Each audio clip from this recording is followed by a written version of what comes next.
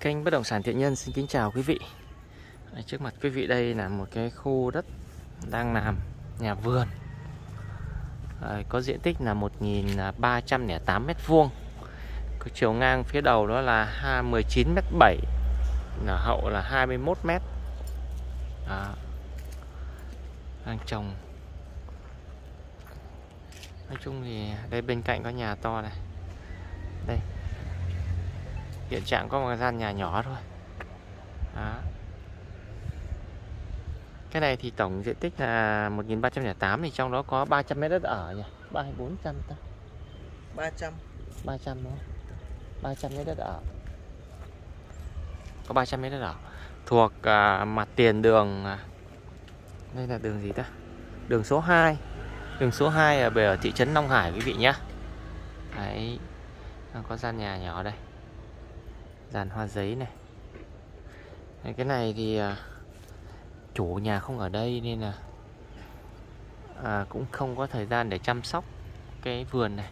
Cái vườn này mà mùa mưa là cỏ mà xanh nên xanh tốt thì rất là đẹp. Nhưng vừa rồi mới mùa khô nên là không có tưới được nên là nó bị chết nhiều. Đó. Đấy, mặt tiền đường. Đường rất to quý vị nhé.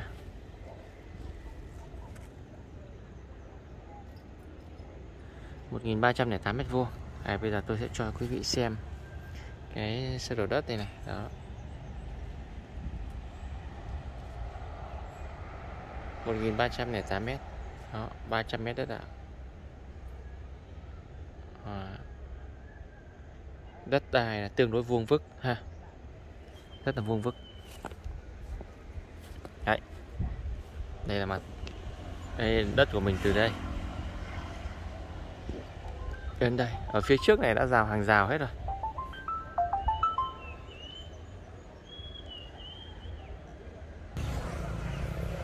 Đấy, quang cảnh đây, quý vị. Đường thì đường to, rộng, thanh thang. Vài xe container đi rồi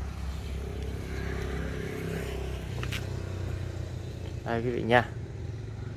Đó. đây, đường đây. Vỉa hè rất là rộng.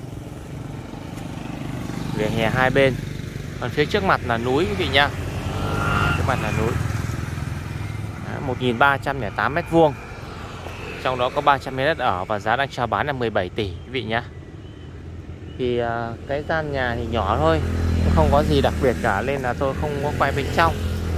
Nên là ý như vậy. Đấy, quý vị nào quan tâm ở đây thì cứ alo chúng tôi theo các số điện thoại ở bên dưới nhé Xin kính chào và hẹn gặp lại quý vị trong các video sau.